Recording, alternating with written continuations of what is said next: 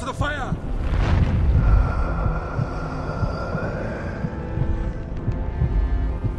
Destroy it! No. Isildur! The battle was finally over. Sauron was defeated, and it seemed like the free people would finally be free from his evil. All Isildur had to do was to throw the ring in the fires of Mount Doom to destroy it forever. This crucial choice would decide the fate of Middle-earth. Should he destroy the ring, or should he keep it and try to use its power for good? Now it's a pity that this choice wasn't really a fair one, for the ring had already started to influence Isildur, and he couldn't think clearly. He saw the ring as the one good thing that Sauron had ever created, and Isildur would never risk harming it, for it was already very precious to him.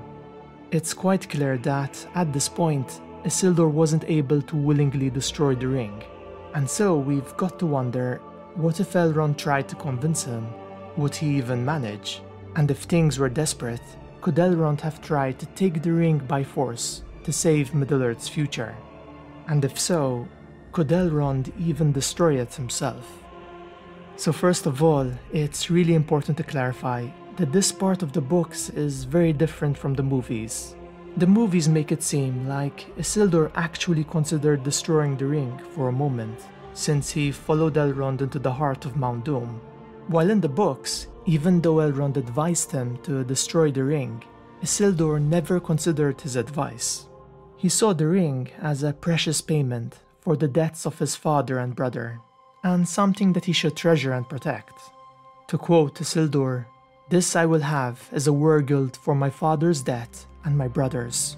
Was it not I that dealt the enemy his death blow? And the ring that he held seemed to him exceedingly fair to look on, and he would not suffer it to be destroyed. Now at this point, Elrond was aware that the ring was crucial to Sauron's power, and he actually told Isildur that the only way to prevent Sauron from ever returning was to destroy the One Ring.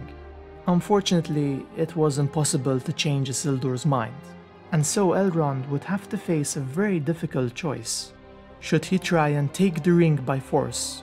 How would the men of Gondor react? Or was it less risky to allow Isildur to keep the One Ring?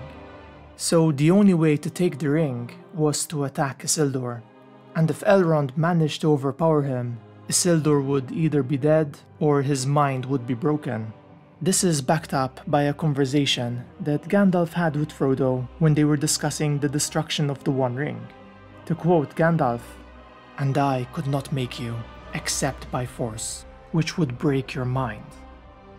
Now, if the Dunedain saw their new king being driven to madness or slain by their elven allies, they would have surely seen this as a great betrayal, and these two factions would have probably gone to war with one another.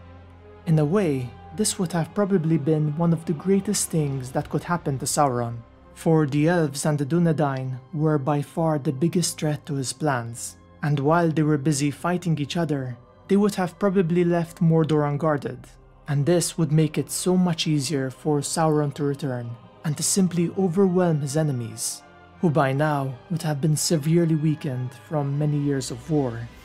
Taking the ring from Isildur just wasn't worth the risk, especially since Elrond had no guarantee that he was able to destroy it himself. And so perhaps the wisest plan was to let Isildur keep the ring and to maintain a very cautious watch over Mordor to stop Sauron from ever returning. This plan would limit the ring's evil for as long as they managed to stop Sauron from regaining his strength, the ring could only act through Isildur, and so it was definitely safer than risking Sauron's full return.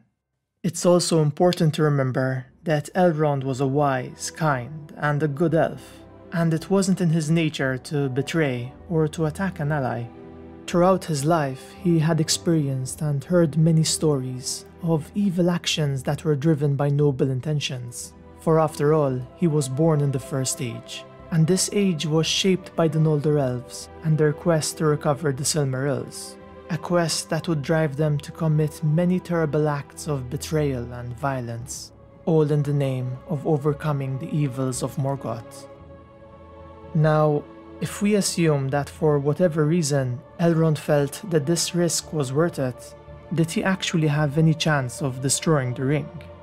So in letter 191 from the Letters of Tolkien, Tolkien wrote that it was practically impossible for any incarnate creature to destroy the ring willingly, especially in Mount Doom, which was the point of its maximum power. To quote, But one must face the fact the power of evil in this world is not finally resistible by incarnate creatures, however good. In letter 192, he also wrote that there were few beings alive, if any, that could have possibly gone as far as Frodo did in his quest, and this also includes Elrond. There is also a very interesting connection between the influence of the ring and the way its ownership changed. It seems that when the ring is taken through violence, such as in the case of Gollum, it would have a much stronger hold over its new owner and cause more harm. While in the case of Bilbo, he managed to escape most of its effects because he started his ownership with pity and mercy by sparing Gollum.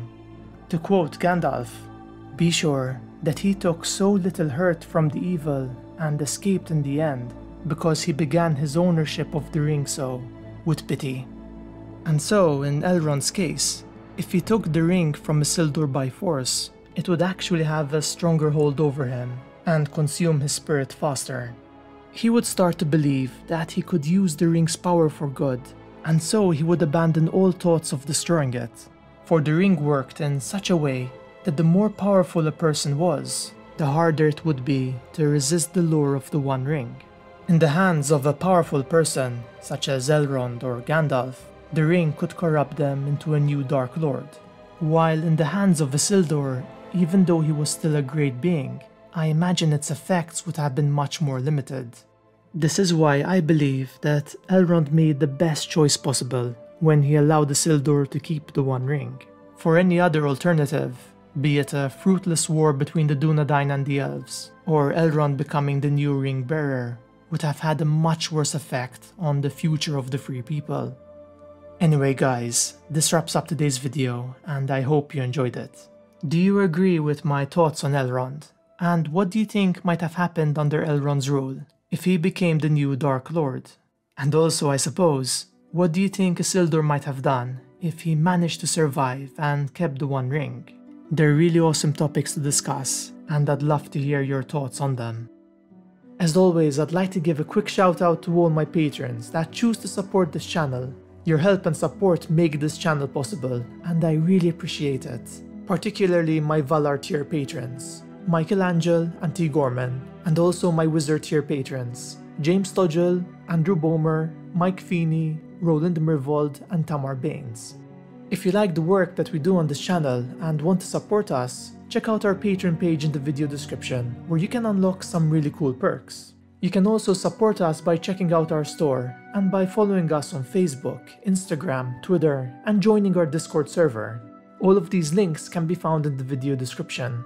Don't forget to leave a like if you enjoyed this video, and subscribe to join our fellowship today. Until next time friends, when we'll once again explore the magical world and lore of Middle-earth.